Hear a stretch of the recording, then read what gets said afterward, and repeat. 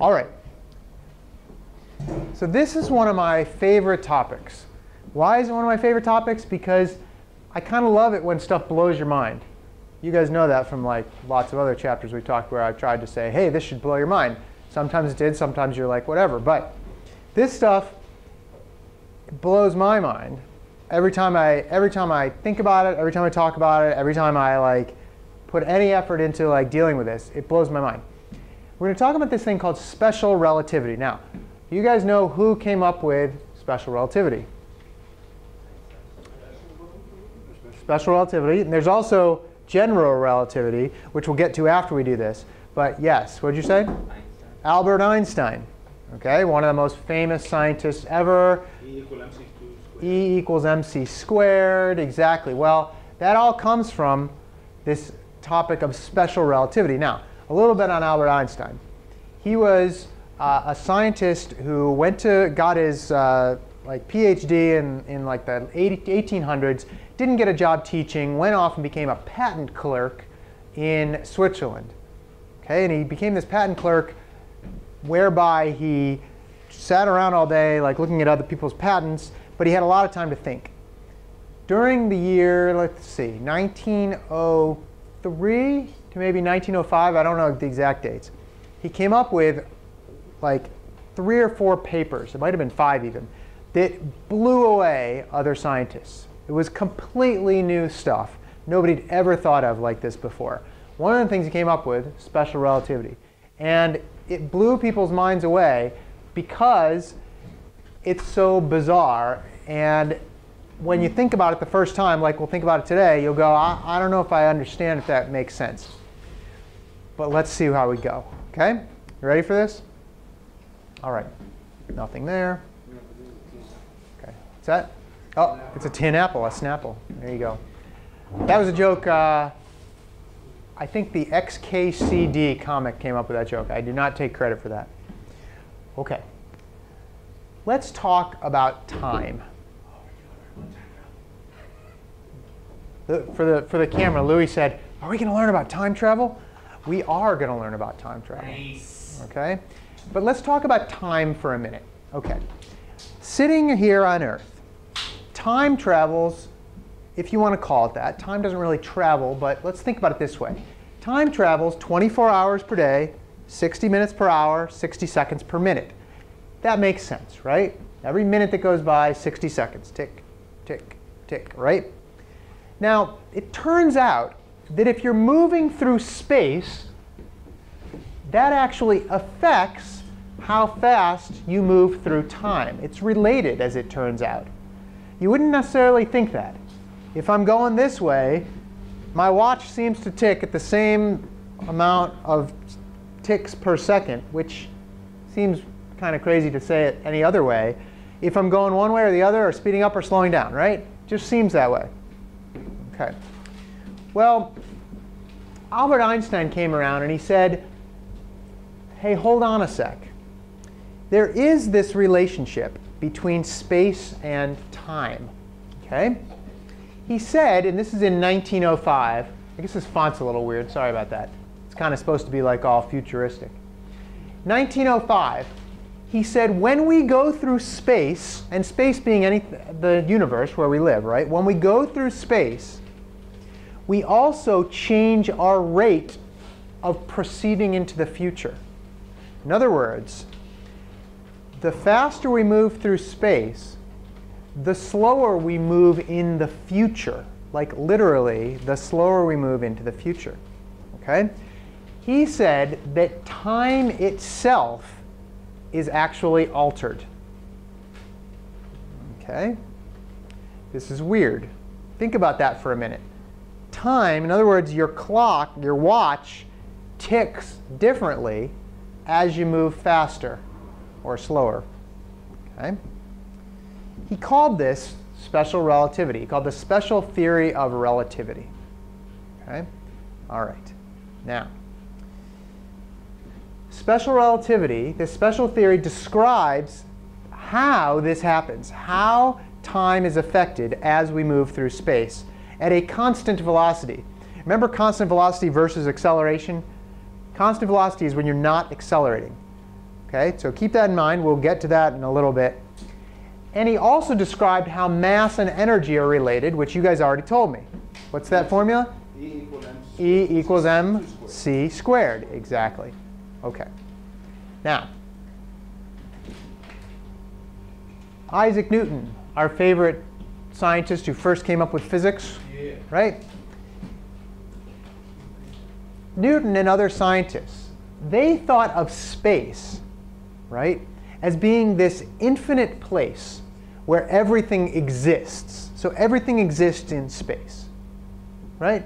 We kind of get that. Everything exists to a point. All right, if you want to, there's other ideas, but in terms of like physical stuff, it exists in space. So far, so good? Turns out wasn't quite clear if the universe exists in space or if space exists in the universe. In other words, is the universe like this and space is inside of it and there's nothing outside the universe, not even space? Like you've got the universe and then outside you've got the, the universe, right? Or, or maybe not. You can actually ask the same question about time. Bear with me on this. Okay? Does the universe exist in time, or does time, your watch, tick, tick, tick, exist within the universe? In other words, okay, is time part of the universe, or is it external to the universe? Like, here's the universe. Outside the universe, time is still ticking along. Nobody ever really thought of this. Why would you? Doesn't seem like you need to think about it, right? Sounds like craziness. Okay, well, then Einstein came along. Einstein said, let's think about that. Aha. Okay? Einstein, answered these questions, and he said, here's the deal, guys. Space and time only exist in the universe. Okay? Outside the universe, you can't even talk about space or time, which is weird because we don't think like that normally. We don't think if you go to the edge of the universe and you step out of the universe, time is going to be just gone. There is because time goes goes on, right? Well, you got to think that way. Okay? He said, I've got this idea that space and time are actually the same idea. He made it easy, called it space-time. Okay? All right. Now, here's how we have to think about this. Okay? We need to stop thinking about moving through time itself to moving through space-time. Okay? And this is where I talked about that idea of going, going through space affecting the time itself. Okay? Everyone in the universe travels through a combination of this space and time.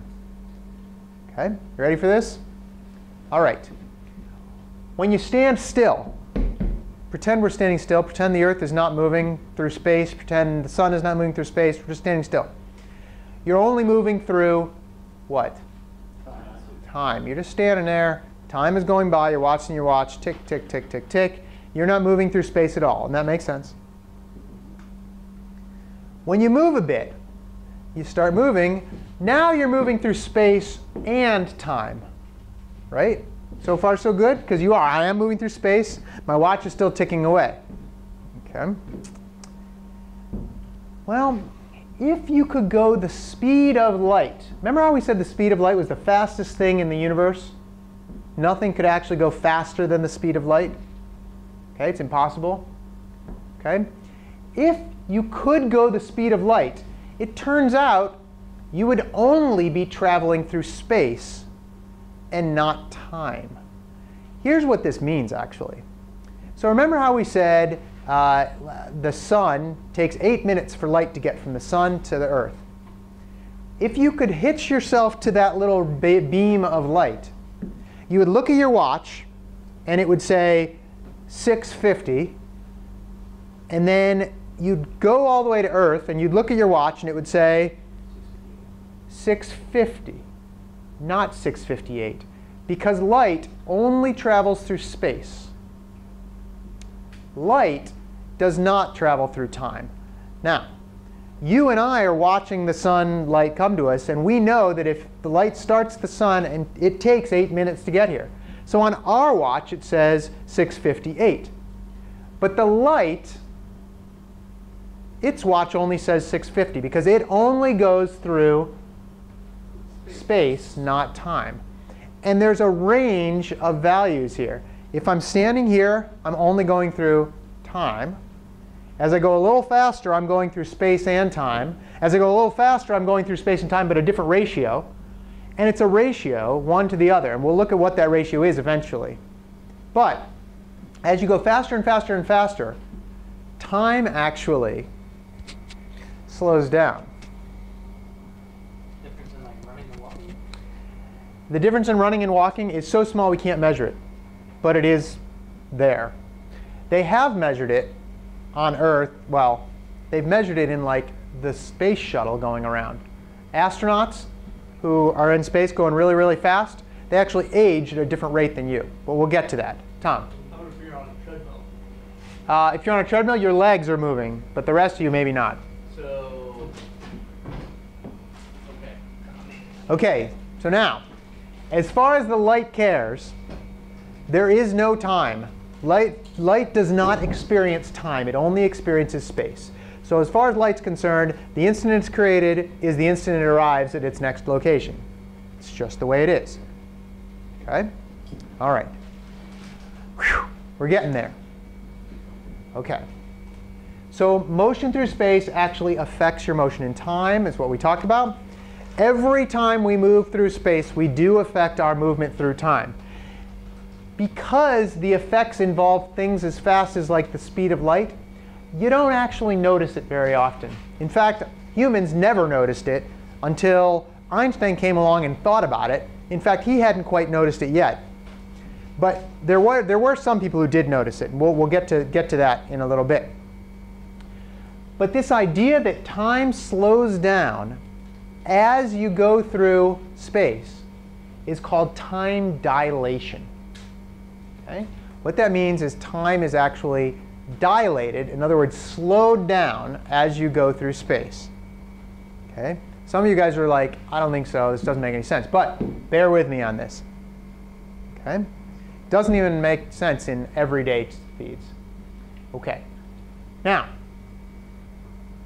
whenever we talk about motion, we have to think about where we're actually looking at it from. Okay? Keep in mind we have to we have to put ourselves like somewhere where we're thinking about where that motion going through space is, is there. So here's an example. Okay, everybody put themselves in this example. You are in a train, train car, right? And it's moving at 180 kilometers per hour. The amount doesn't really matter. You walk down the aisle of the train at 5 kilometers per hour in the same direction. How fast are you moving? 185 kilometers per hour. 185 kilometers per hour or 5 kilometers per hour? Depends where you are watching from, really. If I'm in the train and I'm walking at 5 kilometers per hour, can't I, relative to the train, say I'm walking at 5 kilometers per hour? Yep.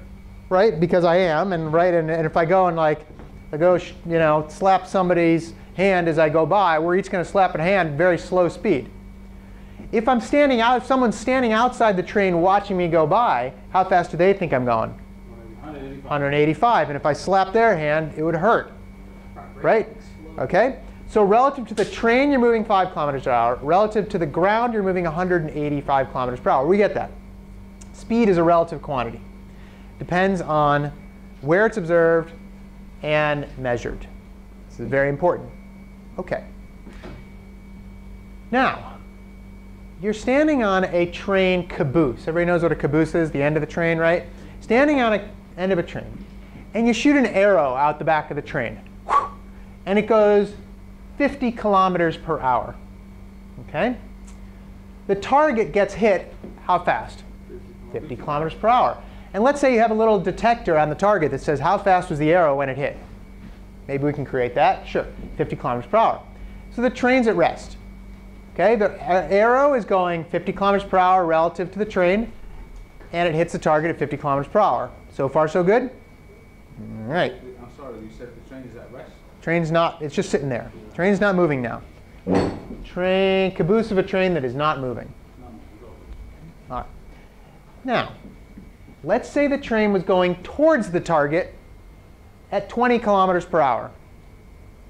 Okay? If it's the arrow's going 50 when it comes off the bow, and you're going 20 towards the arrow, how fast does the target get hit? 70 70 kilometers per hour. Everybody gets that so far? Add the speed. Okay. All right, just add the speeds. 20 relative to the train, uh, 20 kilometers per hour. Relative, sorry, the train is going 20 kilometers per hour. The arrow relative to the train is 50. The arrow relative to the target, 70. Hits target 70. What if it's going the other way? The train's going away from the target at 30 kilometers per hour, and the arrow's going 50. How fast does it hit the target at? Now it's 20 kilometers per hour because you subtract them. This one's going this way. I shoot the arrow out, right? By the way, let's say the train was going uh, 50 kilometers per hour. What would happen to the arrow? Drop straight down. It would drop straight down. It would go boop and drop down. That really happened, right? You could do that. I mean, you know, it'd be a little weird, but you could do that. Okay? Anyway, the arrow hits the target now 20 kilometers. So we're all on the same page here. So far, so good? All on the same page. Okay. So how, how, Wait, I'm waiting how for did you to that throw a happen? wrench out there. I'm getting there. How did that happen? How did what happen? How did which happen? I mean, we went on patrol in Iraq, it was shot at while the vehicle was moving, and we hit the target. Well, Well, two bullets higher than an The arrow. round didn't. well, let's say that. Well, okay. So let's. What's the speed of your rifle? How fast does the bullet go out of the rifle?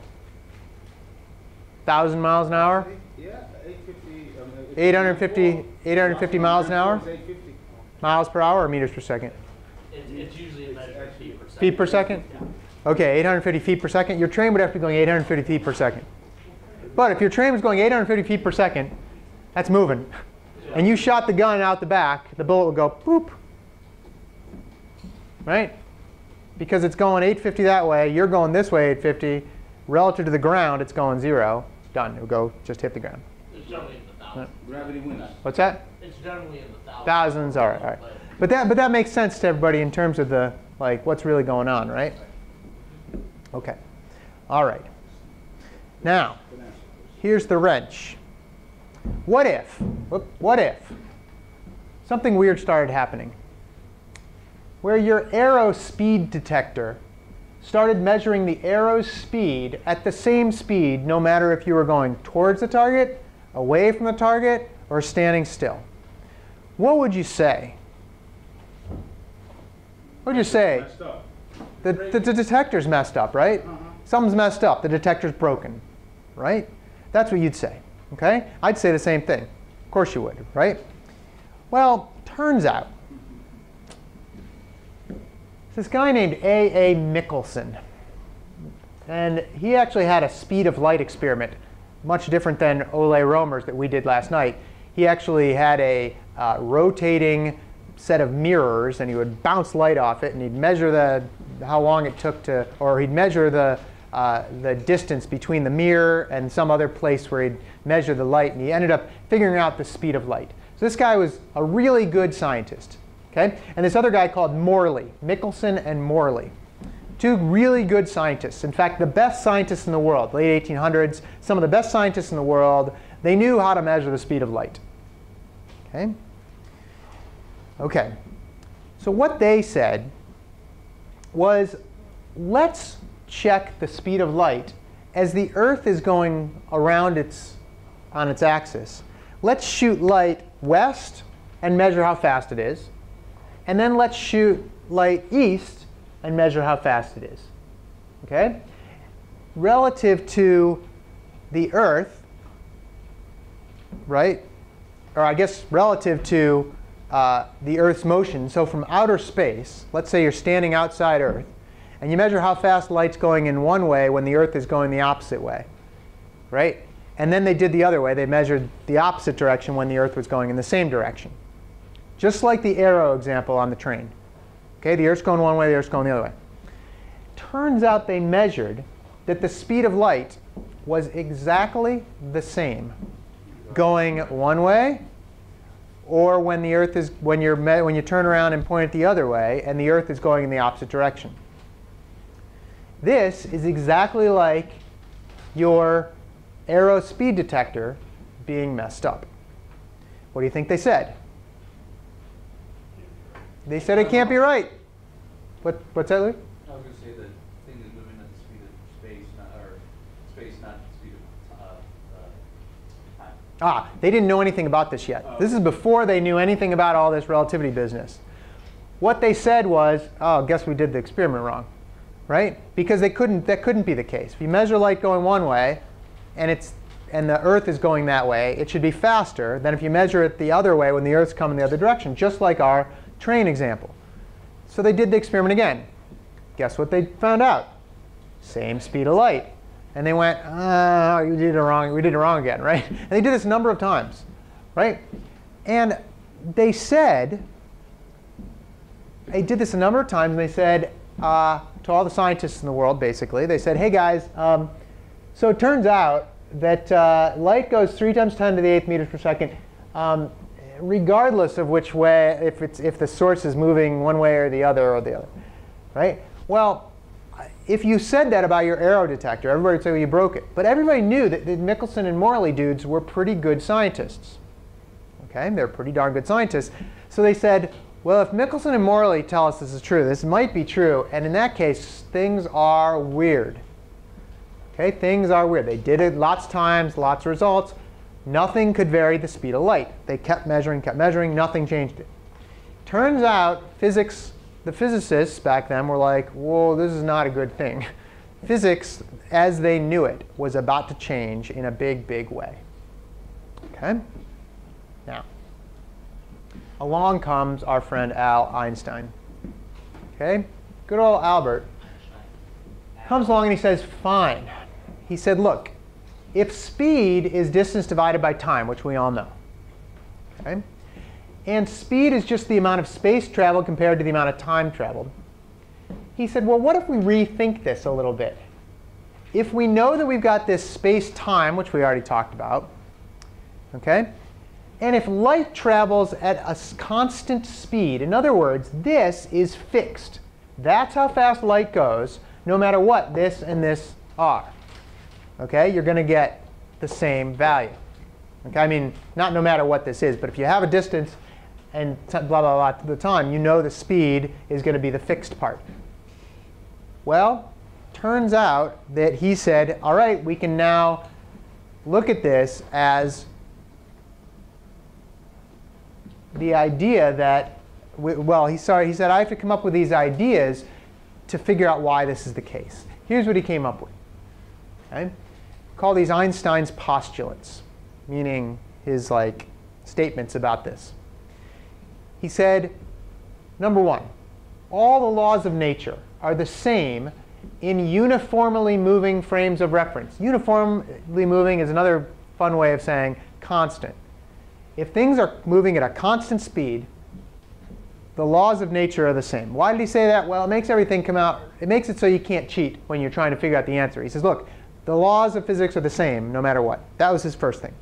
Okay? Basically, he said, nothing is actually stationary that we can measure against. That's what this really boils down to.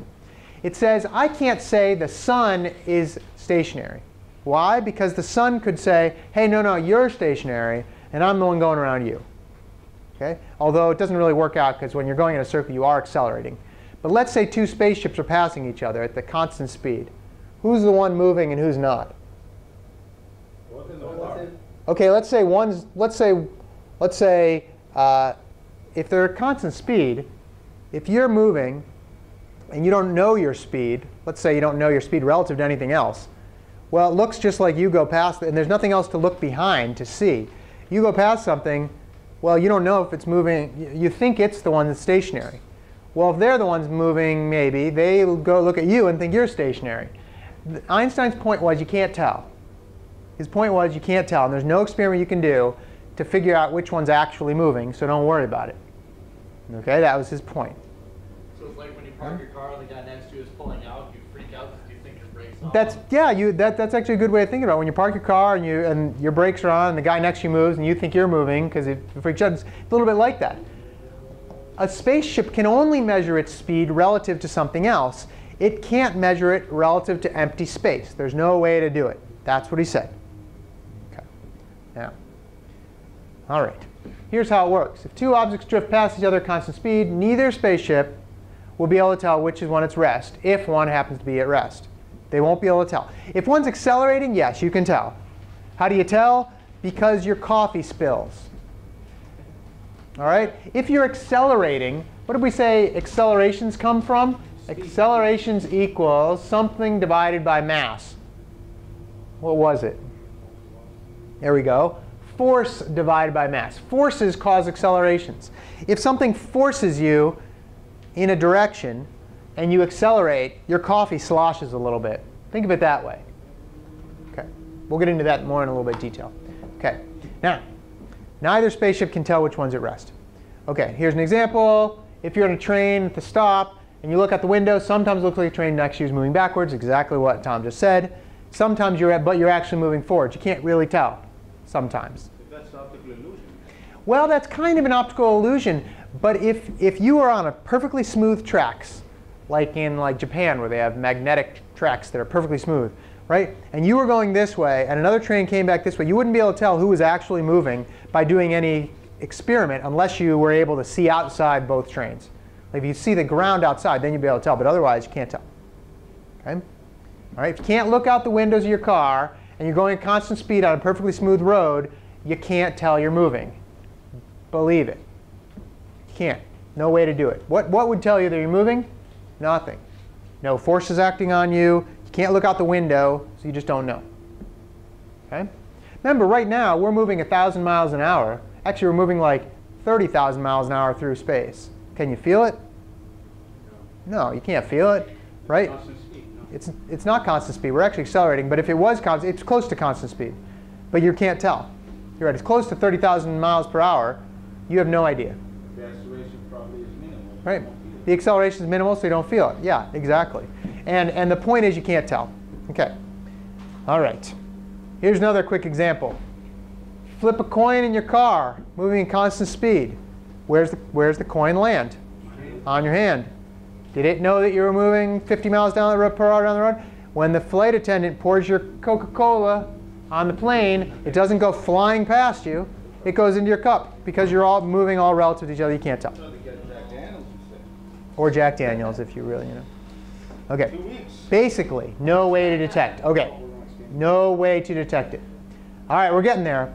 He also said, this is postulate number two, the speed of light will always have the same value regardless of who's moving or whether they're moving. This is odd too. This is that goes back to the Michelson-Morley experiment where he says, "Hey, looks like the speed of light's fine." Einstein said, "Fine, I'll believe it." He said, "Speed of light's fine. It's going to get somewhere. Trust me." If you go back to the train arrow example, if you flew along beside the arrow, what would it look like? Standing still. In fact, you could take the arrow, look at it, go, wow, this is a pretty cool looking arrow, and then put it back out and let it, and it would hit the target. If you were moving at 50 miles an hour, right? Can we, can we try it? Yeah, good question. I've seen, I've seen like the videos on YouTube where they do similar things like that, but it's not with an arrow. But yeah, you could do that. I mean, you know, that's the way it is. It's, yeah, it's, you really synchronize the speed? well, okay, here, here's an example. Here's an example. So let's, let's, uh, let's say you hold an apple outside your window in the car, right? And you let it go. Where does it land? Right. Not if you're, if you're moving down the road at 50 miles an hour, where does it land? It feels like it's going Whenever I dropped it. Well, right, it lands, but let's say outside the car, it like moves 50, 50 feels like it's going past It feels like it's going past, yeah. There you go. Yeah, you could, you could kill somebody by like driving down the road, holding an apple out, if they're like walking down the side of the road, holding an apple out and letting the apple go, it's gonna go whack and hit right into him, just like if you were, you know, in your car, because it's moving 60 miles an hour, at least when it starts, right? Okay, so the arrow would look like it starts. Einstein said the same question about light. If you could travel beside it, okay? If you could travel beside it, close to the speed of light, you would measure the speed of light moving away from you at 300 million meters per second. He said, doesn't work the same way as the arrow, okay? If you were able to go the speed of light and you, and you were next to light, it would look like it was going the speed of light. No change. That's a little weird. Okay, that's definitely weird. I think that it'd be It's the amazing same. that light. He did not. He did not because the speed of light is the same, always, where whoever's doing the measuring. So this is where it starts getting a little weird. But if, Yeah, go ahead. if there's any way you can slow down the light speed? Well, in a vacuum, we're saying if you if you put light through water, remember it will slow down, but in that material, nothing can go faster than that speed. Whatever the speed of light in that material is, nothing goes faster than that in that material. Yeah. Okay. All right. So you ready? In other words, the speed of light in all reference frames is the same, and this is where Einstein made this big leap. He said, "All right, Michelson and Morley tell me that's true. I'd better believe it." This idea led to a lot of paradoxes. What's a paradox? Arguments? What is it? An argument without an answer. Arguments? Not quite. Sorry? An argument without an answer. It's yeah, paradox is an argument without an answer. This can be right and this can be right, but they contradict each other. So? Right? Well, it's more than a hypothesis. It's, it's here, I'll say it again. If this is right and this is right, but they contradict each other, that's a paradox. Because they both can't be right and contradict each other. Which is science, actually. Well, it's kind of like science, yeah. But this act, this idea actually led to lots of paradoxes. Okay, turns out it was measured for, it was measured to be true. So Einstein said, "Fine, fine, fine. I'll figure it out." Okay. So what did you do? So what did he do? Let's let's figure it out. How about this? Do you want to take another break, or do you want to do it in like 10 minutes? This is kind of interesting stuff. Well, let's keep going. Okay. All right. So here's your example. You've got a mothership and a baby ship. Okay? And the mothership's trying to communicate with the baby ship by shooting a beam of light at the baby ship. Okay? Flashing a light, just like we do on ships or in planes or whatever. Well, we use radios now, but radio is basically light. So that's it. The baby ship, no matter what speed it's going, sees the light at going 300,000 kilometers per second. That's how fast it measures it. Whether the, whether the space, baby's going this way or this way or this way or whatever, it's always going to look out and go, that light is coming at me at 300,000 kilometers per second. There is no change. Okay? No difference. Yeah, You question. said On the- on the previous slide, you said 300 million. Ah, 300 million, where did I, there's 300 million meters per second, which is equal to 300,000 kilometers per second. Yeah, I changed units on you. Sorry about that. Good observation. 300, good observation, though. Okay, 300,000 kilometers per second. Okay. Whew. Now, in order to understand this idea of time dilation, where time actually changes, we have to construct a little thought experiment. Okay, Einstein was really good at these. It's where you think about something and go, what if, what if, what if, and you, you work out the lo- logic of it all and you figure out what happens. Okay? So Einstein said, pretend you're in, this, in a spaceship sitting outside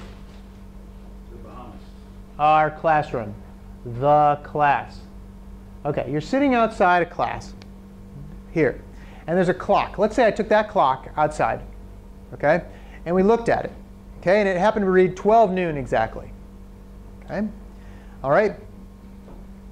How does what does that mean when we say the clock says 12 noon? Well, doesn't it mean that light hits the clock and then comes back to you and goes into your eyeball and your eyeball says, and your brain says, that says 12 noon. That makes sense? Okay. If you were to look at that and then all of a sudden move your head, the beam of light that was going to hit you goes right past. So far, so good? Okay? If I was to look, let's say I was to look from outer space at this clock, the person who hit that beam of light, instead of hitting my eye and saying it was noon, went out to that person out in outer space, and he's looking at the clock, and he sees the clock that's and, and sees that it says 12 noon. But didn't you see the time at different times? In other words, if I'm 10 feet from the clock, it takes a bit of time for the light to get to me. If I had moved my head and that light hadn't hit me, the light takes some time to get back to the wall back there. And so if I was to look at that and when it's right at noon, it would be a different, it would look at, be at a different time than if the person standing back there looked at the clock and said noon. Doesn't that make sense? It's getting a little odd, but it makes sense though, right? The difference would be negligible because It would be negligible, certainly. 0.0 But let's micron. let's make it let's make it not negligible. Let's say that somebody's way out in space, one light year away. oh, okay. Okay, and he looks at the clock. When you look at the clock and see that it's noon, and then if you move your head and the light goes flying past you, and some guy's a light year away looking through a telescope, he sees that how long from now? What's this? Eight Exactly one year. A year later, he says it's noon back there, and you've already gone through a year more of your life, right? Again, it, I mentioned this the other day. If somebody on a planet 65 million years or 65 million light years away was looking through their telescope at Earth right now, what would they see? They'd see dinosaurs. Right? Right now, if they're looking at the Earth, they go, hey, look, dinosaurs. They have dinosaurs down there. They're looking at our dinosaurs because the light from the dinosaurs is just reaching them now. Make sense? So there's a, there's a difference in when you observe something, whether you're there next to it or whether you're far, far away. So far, so good? All right. Now, pretend you are in the spaceship moving away from the classroom at the speed of light. Haha, now you're moving at the speed of light. What time is it if the light is going next to you and you're going at the speed of light away? What time's does the clock say? It says noon. And you keep going farther away, and what time does it say? Noon. And you keep going, far, it never changes. So, as far as you're concerned, time on Earth has stopped. Okay? Now, time is frozen. Okay. So, so, oops. So, those are actually the extremes. If you're standing right next to something and you read it, time is going one second per second. Click, click, click. If you're going along with a beam of light looking back at some clock on Earth, time is stopped.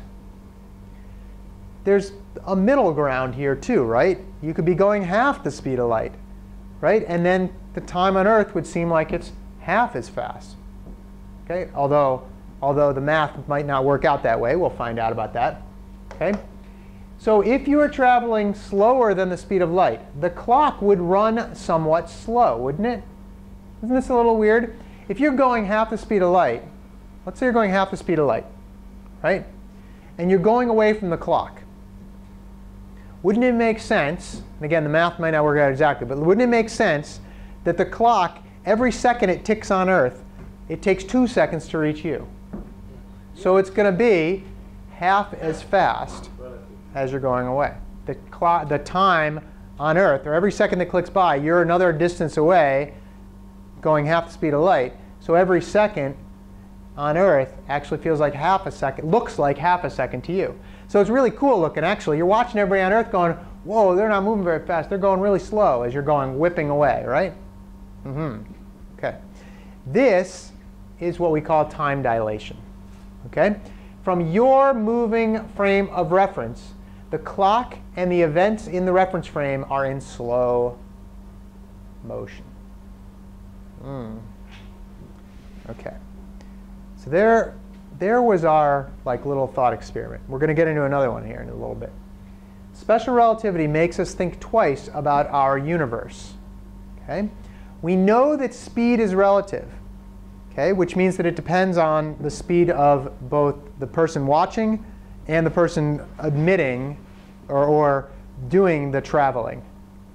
Okay? But speed of light is actually fixed. This is where it gets weird again, okay?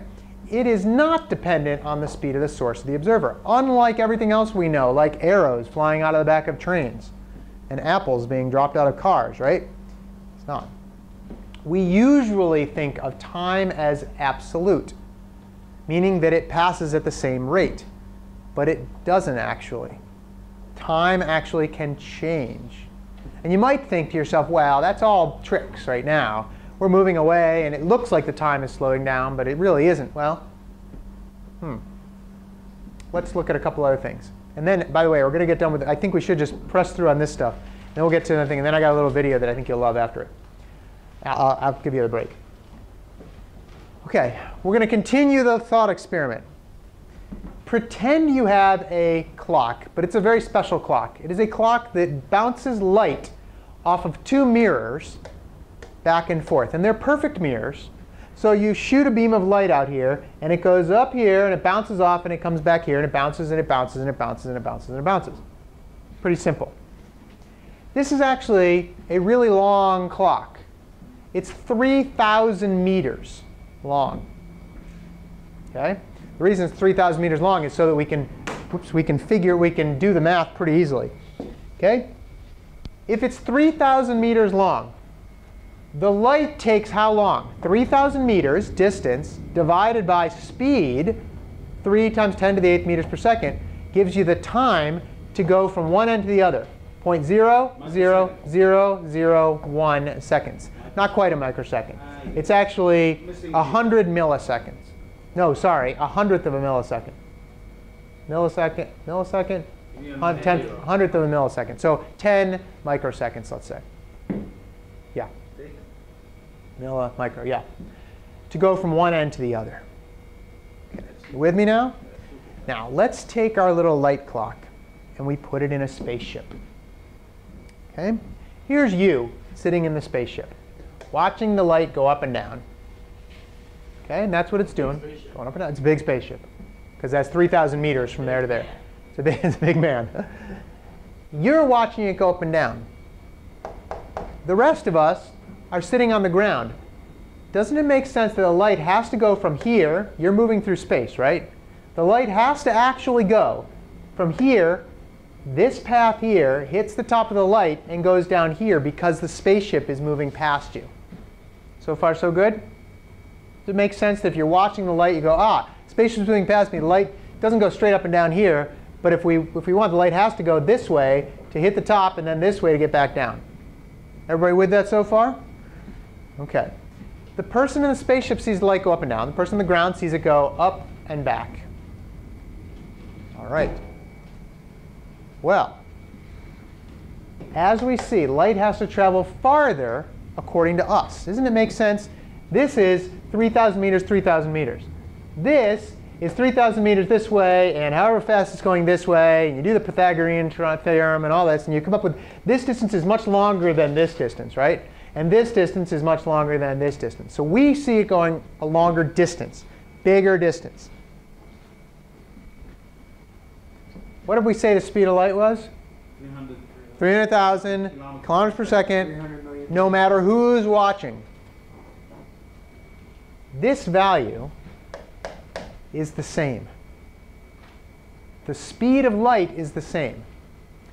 If the distance is small, in other words, going straight up, straight down, and the speed of light is the same, doesn't this ratio have to be the same? Well, it has to be equal to this. So if the distance is small, the time is small. If the distance is big, in order to get the same exact number when you divide the two numbers, time has to be bigger. Let's, let's do a really easy example. Let's say the speed of light was 3, right? And the distance was 30. What would the time be? 10. 10. Okay? Let's say the speed of light is still 3 and the distance is 3,000. What's the time? 1,000, right? Because 3,000 divided by 1,000 is 3. So you see how in the spaceship, if the speed of light is constant, which we said it has to be, and Einstein said, look, buddy, it has to be, because Michelson and Morley measured that, and that's all we can go by, then the amount of time has to change. Like the actual time has to change. Hmm. So you say that that guy's, well, you're the one on the spaceship. You say that your time was 3, right? No, what did we say this was? Yeah. 3 and this was 3 and this was 30. So 3 and you said the time was 10 seconds, let's say. Right? I say the time was 3,000 and 1,000. I say the time was 1,000. You say the time was 10. Who's right? Uh, both are. You're both right. Depends on who's observing.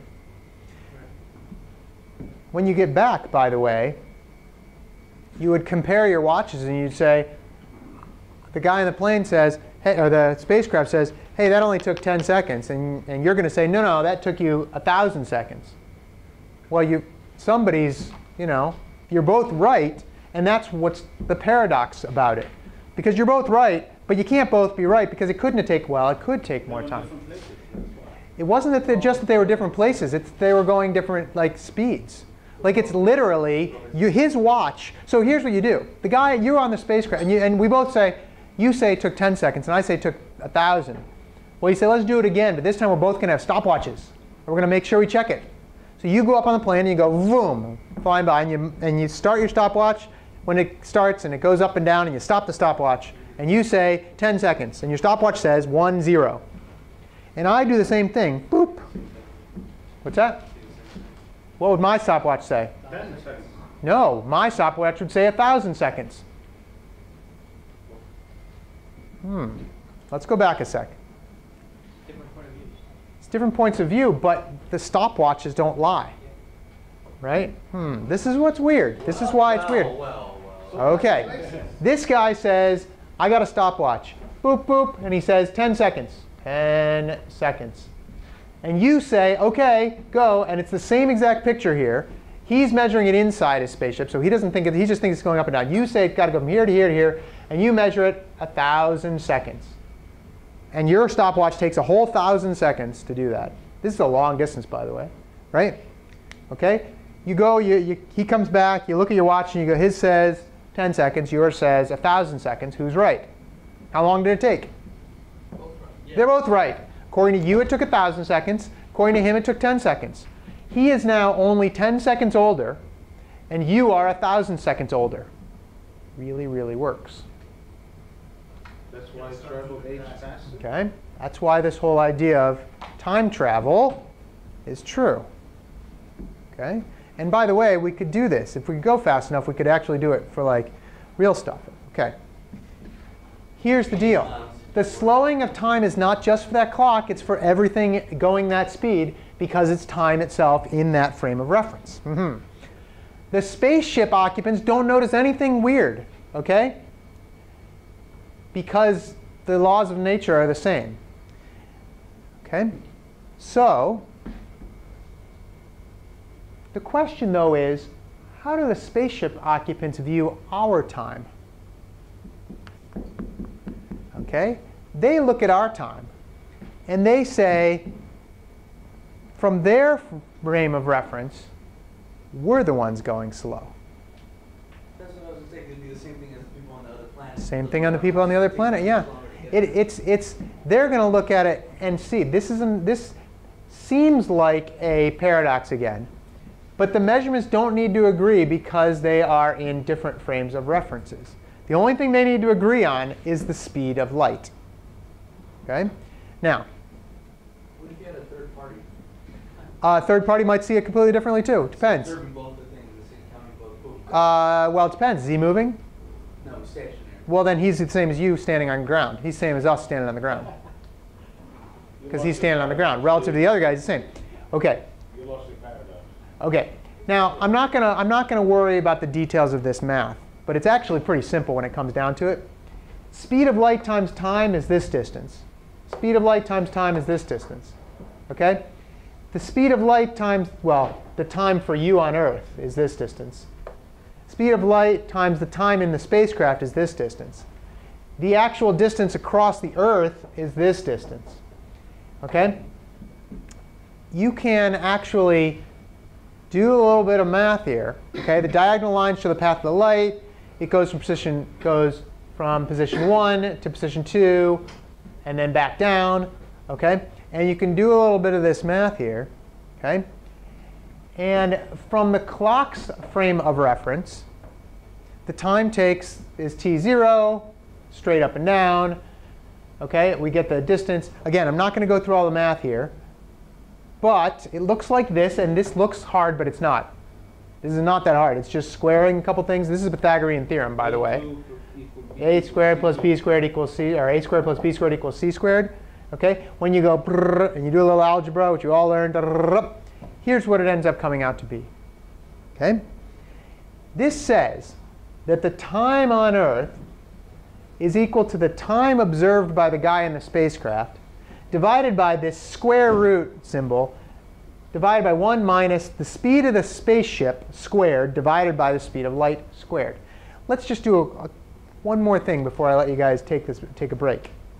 Let's compare something. B for the denominator and denominator? What's that?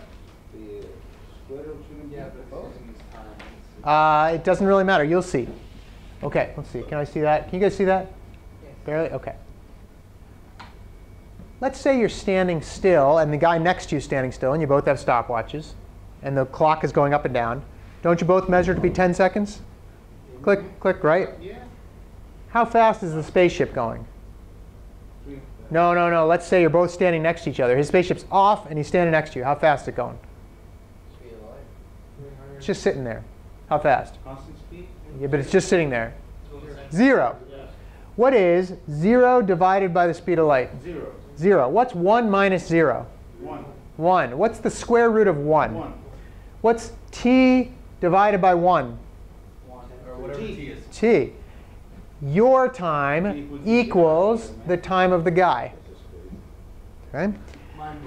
Let's say, let's say that the speed of the spaceship was the speed of light. Let's just say the guy's now moving the speed of light, fastest possible. What is the speed of light divided by the speed of light?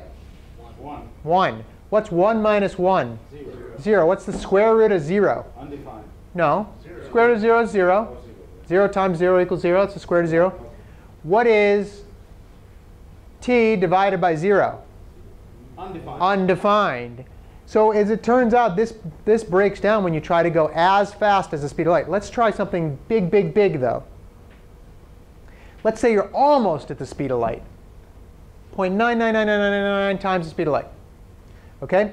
299,999 kilometers per second divided by 300,000 kilometers per second. Is that going to be a big number or a small number? Small. It's going to be very small. What is, Minus. hang on, is it going to be very small? 299, well, squared, yeah, it's going to be, it's going to be very small. Okay. Hang on, yeah. So, well, it's going to be very small. It's going to be very close to 1, isn't it? Yeah. Yeah, it's going to be like 0.99999. What's 1 minus 0.9999? Point, well, Zero point nine nine nine nine nine. yeah, it's like it's like 0.00000001. What is a number divided by a really, really, really small number? It's a really, really, really, really Big number. big number, right? So the time for you on Earth looks like a really, really, really, really big time out there. Okay, so remember how the spaceship went past and they thought it was 10 seconds and you thought it was 1,000 seconds? That's because it's very, very, very, very big. Okay, this is crazy stuff. Now, let's go on a break because I'm done with the slides and I want you to I want you to process this for 10 minutes and then I got a video and I got one other thing to tell you about this. Okay, all right. So um, I promised you a little video that talks about this stuff. Who's our favorite video person? Dr. Hewitt. Hewitt, right? Paul Hewitt. And this is actually this is actually a very unique thing for Paul Hewitt. It is actually a cartoon, okay, that he drew way back when he was taking physics, way back when. And uh, I think he did the music to it, and he did the, all the animation, and blah blah blah. But it talks about an experiment with two guys who want who are twins, and it's called the the twin paradox, which is what he uh, which is what he draws here. And, and it takes a little bit of time to process it a little bit, but he goes through it twice, at least twice, and you'll see. But but we'll we'll talk about it in the end. But it, it's all the stuff we've just been talking about, relativity. So here we go.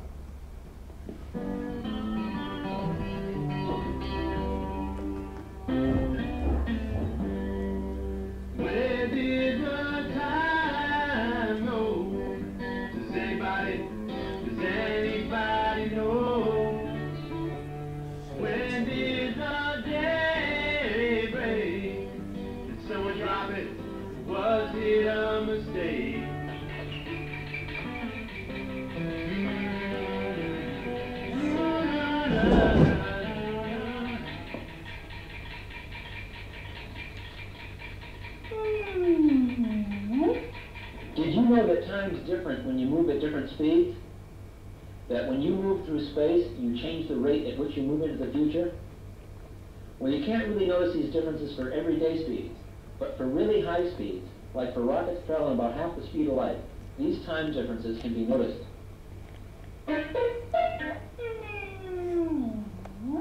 Let's take a look at the so-called twin paradox. Well, fine, I don't know. I, yeah, yeah, I got way more for you. You know, it was all in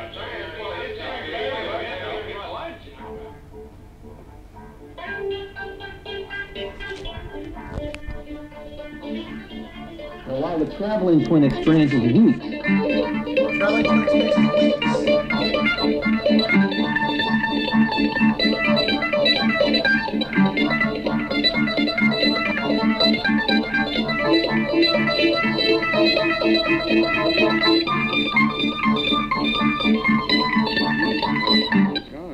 the stay-at-home twin experiences years. something. No, I think I'll just sit here and do nothing. Yeah, that sounds like, yeah, I'll do that.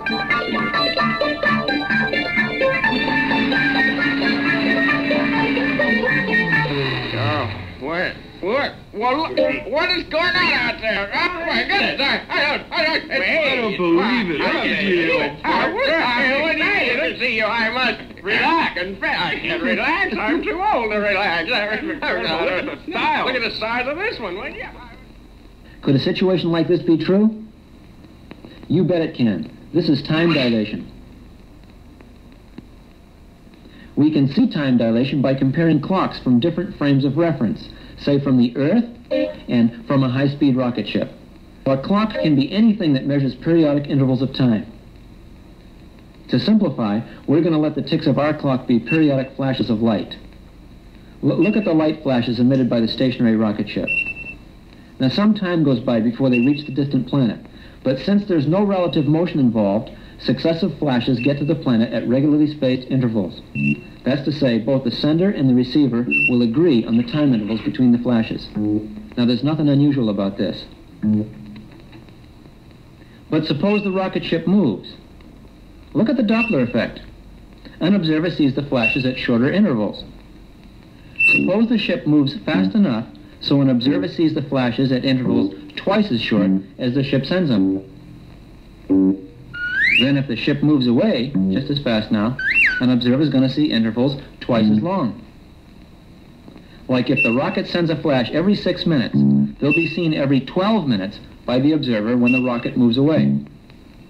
But every three minutes when the rocket's approaching. Now let's apply this to time dilation. If the ship passes by the Earth and moves away at the same high speed for one hour, and quickly turns around and then returns in one hour, rocket ship time, this two-hour trip is seen by the Earth as taking place not in two hours, but in two and a half hours. And this is because the ship and the Earth have been in completely different realms of time. Let's look at this in greater detail. Suppose that when the ship goes by the Earth, that clocks on Earth and on the ship are synchronized to 12 noon. Then as the rocket leaves the Earth, a flash of light is emitted by the ship every six minutes. That's six minutes rocket time.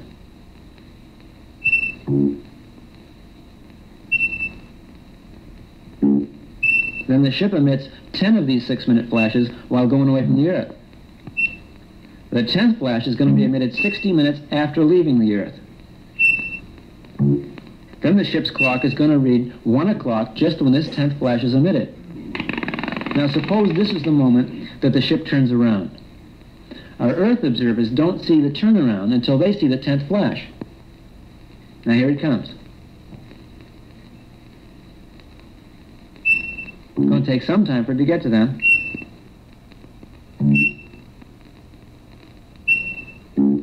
Closer, closer, closer. Bam, there it is. 10 flashes, 12 minutes apart. That's 120 minutes, two hours. So that means it's 2 o'clock now on Earth. Now the 10 flashes the ship emits when approaching the Earth, they're going to be seen 3 minutes apart, or all 10 in 30 minutes.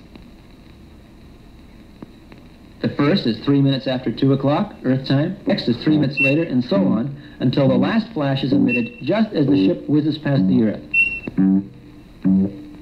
And that's going to be 2.30 Earth time.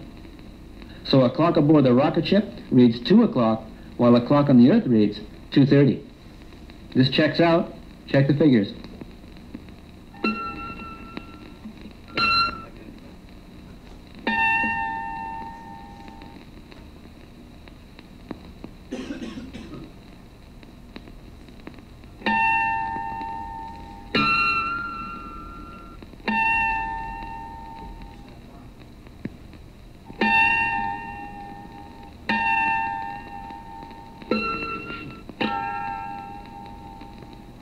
Now let's go through this once again. Watch carefully and compare the clocks.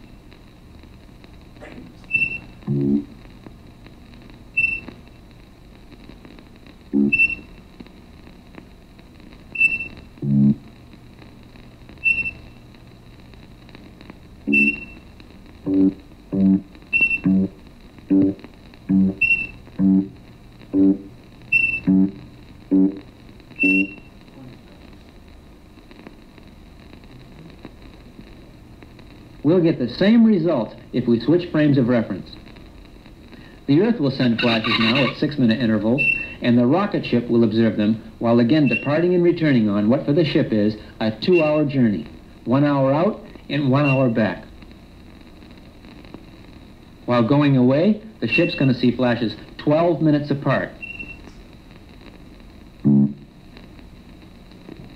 That means it's going to see a total of five flashes during this hour of going away.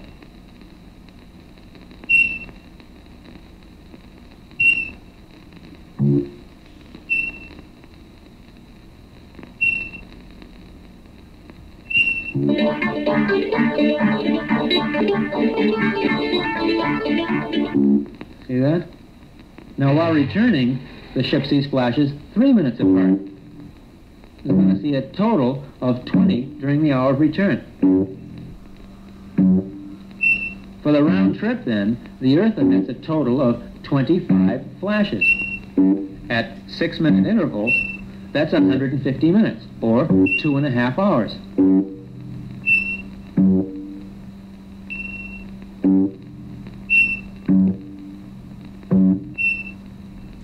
Same results as before.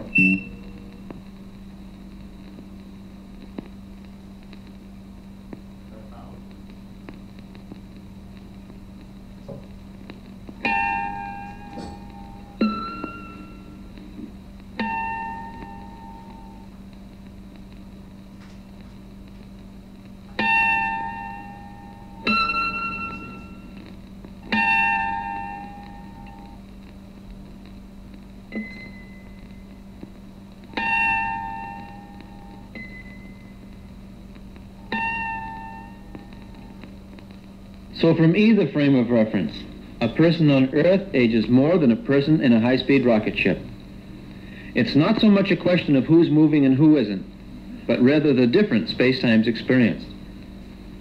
The person on Earth remains in one space-time throughout the experiment, whereas the person in the rocket ship is in a completely different realm of time while traversing space going away from the Earth, and in still another realm of time while traversing space and coming back to the Earth. Two space-times.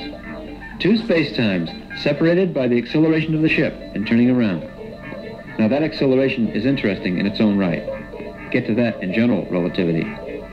But we see that the details of that acceleration aren't really essential in this case. The principal significance of that acceleration is that it marks the changing from one space-time to another.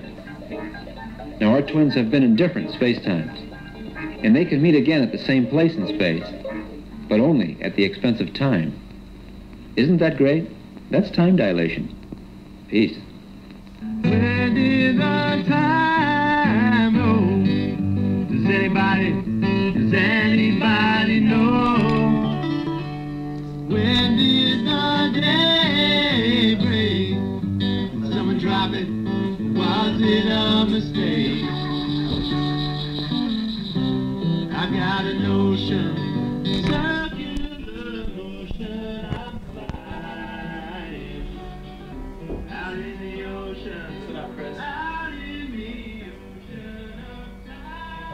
Thought it said Paul Hewitt on there.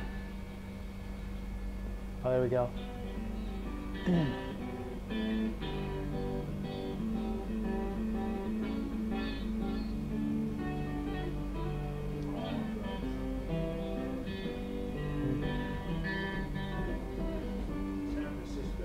Paul Hewitt, there we go. All right. Okay, you had a question, Tom. Wasn't that good? Uh, yeah. So with a parsec being a measure of time, it, you could make the Kessel run in 12 parsecs. there you go. Uh, yeah, the parsec. Yeah, the parsec is a distance actually. Is it a distance? Yeah, parsec's a That, distance. that's what it was. But That- but yeah, there's a yeah you can the, there might be some time dilation. Well, here's the interesting thing about there's a couple interesting things about that. The first interesting thing is so at the beginning Louis said, "Hey, can we can we actually go through like talk about time travel?" Well, we are talking about time travel here. If you are going at a, so let's say you've got a planet 150 light years away. Right? 150 light years away if you and I were to try to go there, right, it would take more than 150 years to get there if we were just driving, obviously. It would take a long, long, much longer time than that, and then we'd be dead, right?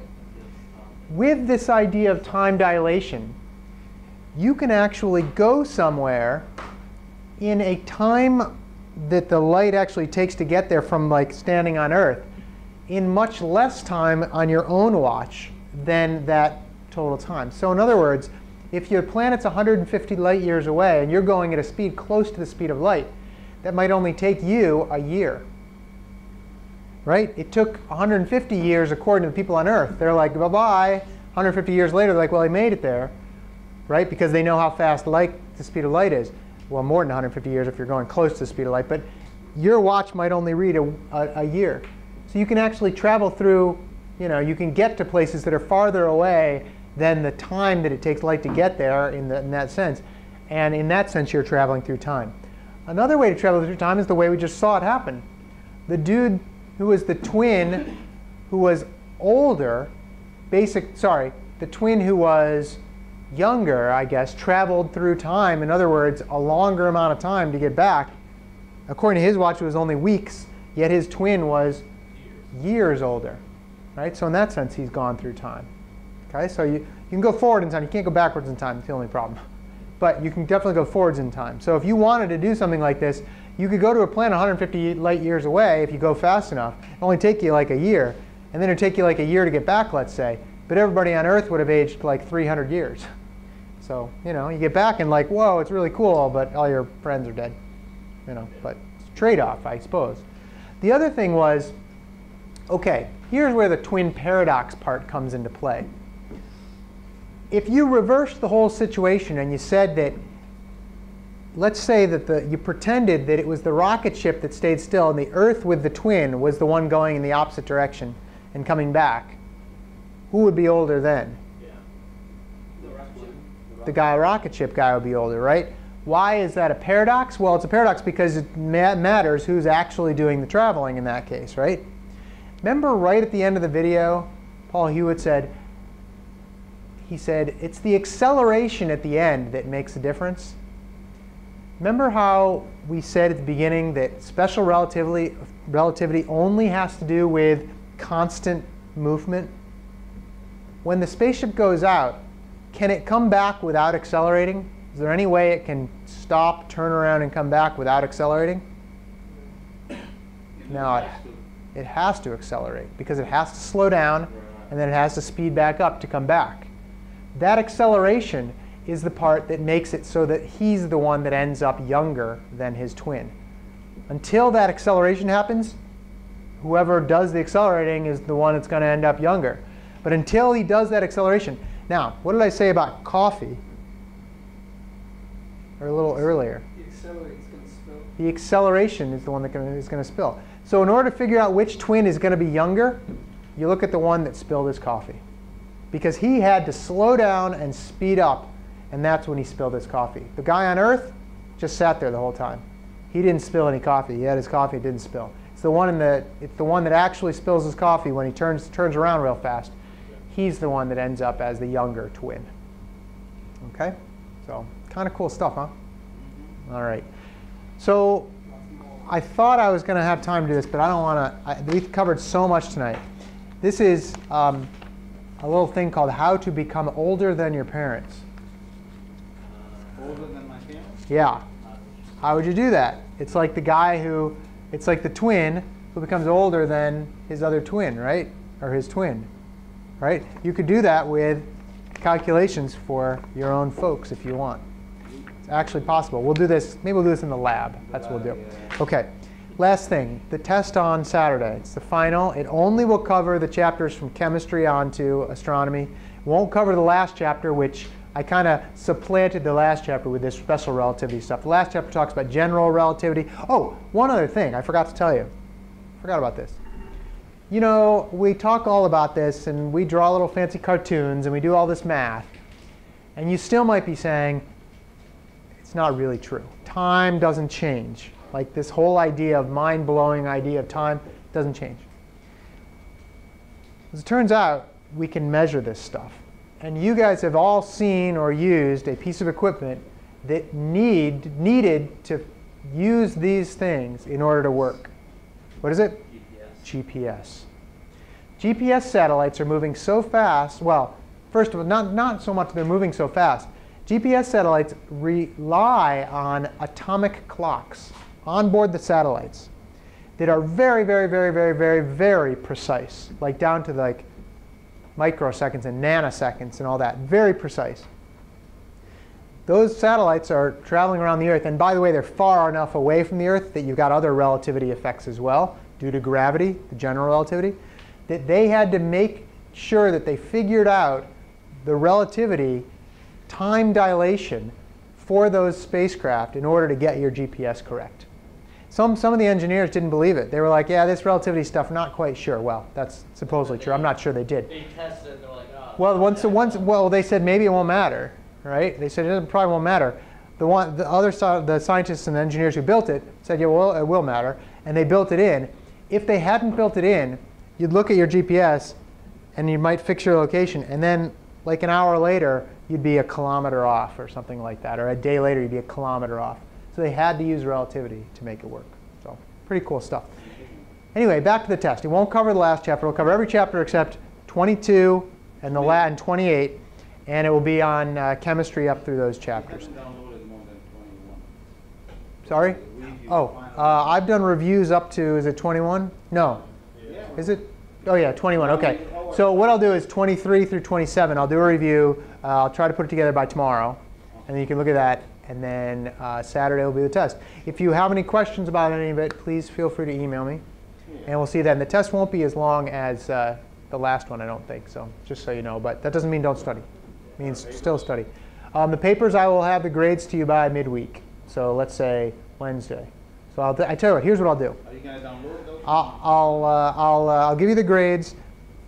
I- I still want to, I do want to curve the final exam, but what I'll say is if you get an A, B, C, or D on the final exam after the curve, this is what your final grade will be. How's that sound? So you kind of know what you want to shoot for. That make sense? For lab class, um, if you did all the labs, you'll get an A. If you were here for all the days and you did all the labs, you get an A. If you owe me some labs, I've already emailed most of you guys, but if you owe me some labs, um, you may not get an A if you don't give them to me by next week. Okay? I have to put the grades in by the, like the 15th, so a few days after the end of class, grades have to be in, and then I can't change them. Okay? Any questions? All right. I guess I'll see you on Saturday.